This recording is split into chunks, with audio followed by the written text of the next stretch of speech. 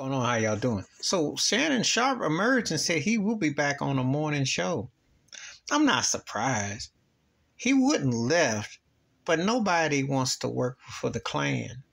Black man feel like he getting lynched already, and then he got to work with Skip Bayless. That's like a burning in your face. I mean, come on now. And see, the thing is, Skip was too dumb to understand he had the gravy train. He had a black man who was willing to be humble and to play off of him and he didn't use it to his advantage. He tried that old, well, you need me more than I need you. When in reality, they both need each other and they both benefit each other. You know, Shannon used Skip as a jump off because I said the shock jock and the cat that had the broadcasting chops and you could talk, debate, and y'all could feed off of each other. Also, you know, you know how stereotypes with jocks, but you gotta remember Skip ain't realized the one his antagonist he's against, Charles Barkley, flipped the script for the former athlete turned sports analyst because that's what people gear towards. Charles set the wave. And Shannon took it to another level. Shannon really did open up another light.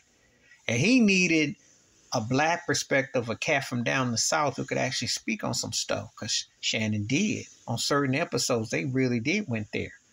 But see, Skip never got the he, his light bulb ain't that. Day. And see, he thinks like a white dude middle middle row white dude who thinks like you because white privilege will have you blind to saying any old kind of idiotic thing until it slaps you in your face. And believe me, Fox got millions of dollars. They like they gotta find somebody black right about now.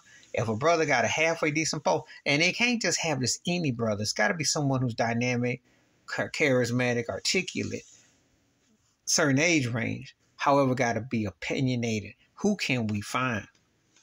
That's going to be a tough come because Shannon Sharpe really fit. They was yin and yang. And Skip messed it up. That's what Shannon basically saying when he says he's getting back to the morning.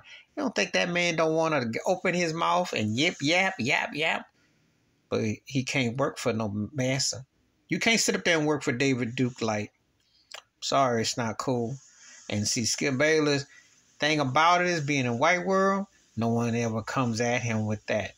But when he emerged against a cat that halfway came at him with some some logic, and he uh, emasculated him, and he and and Shannon be reading them threads, he read them leaves.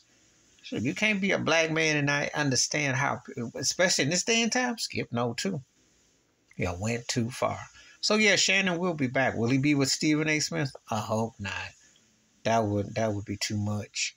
But I do think he will definitely find him a voice in a place that, you know, I like his Club Shay Shay. I think that's cool because he actually is articulating some interesting takes. And I'm going to talk about some of the things he talks about on there. But uh, not only he ain't slurping LeBron and some of them other things, but Skip's lost. Please hit like, subscribe, welcome thoughts, comments, and I do respond. Thank you. Wash your hands, keep your mind clear. Watch out for another shit of it if you're liking them out.